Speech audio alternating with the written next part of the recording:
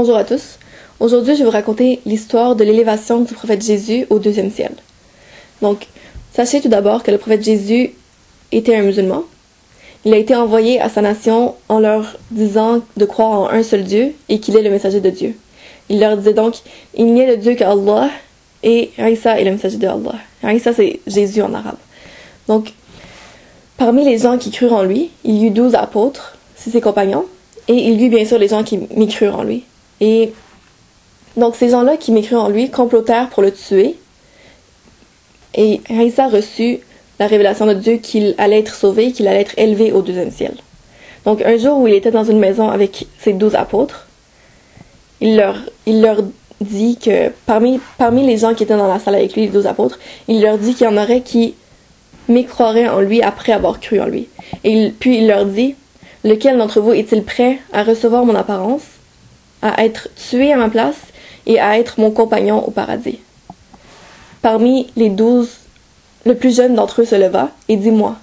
Le prophète Aïssa lui dit, assieds-toi. Il posa une deuxième fois la question. De nouveau, le plus jeune se leva et dit moi. Le prophète Aïssa lui dit de nouveau Assieds-toi.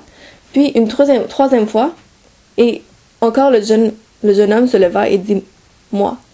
Puis le prophète Aïssa lui dit Ce sera toi. Donc, par la suite, le prophète Aïssa fut élevé au deuxième ciel, et le jeune homme qui avait reçu l'apparence de Aïssa fut, ben, fut pris pour Aïssa parce que quand les hommes sont rentrés dans la maison pour tuer Aïssa, ils l'ont cru car, car, la ressemblance était. C'était la même. Il avait la même, la même apparence physique. Donc, qu'est-ce qu'ils ont fait?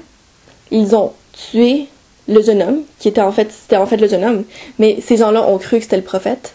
Et c'est pour ça qu'aujourd'hui les gens disent que le prophète Jésus a été crucifié. Mais en réalité, c'est faux. Et Allah Ta'ala dit dans Surat An-Nisa, ayat 157, que ils ne l'ont ni tué ni crucifié, mais ils furent trompés par la ressemblance.